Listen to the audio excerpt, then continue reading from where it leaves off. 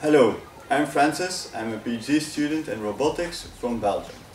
Earlier this year, I got my Raspberry Pi and was really excited by, its, the, by the platform, its super low price and its massive community.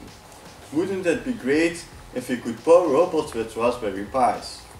Unfortunately, when I wanted to build a robot by using the Raspberry Pi, I found that there was no robotic shield available.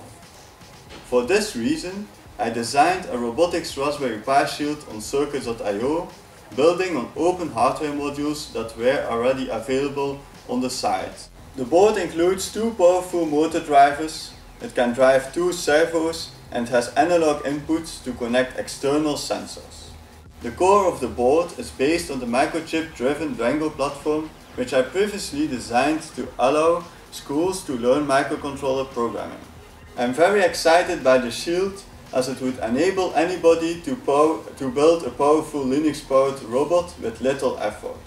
That's why I started a bootstrap campaign on Circuits.io to raise the required funding to get this to full production.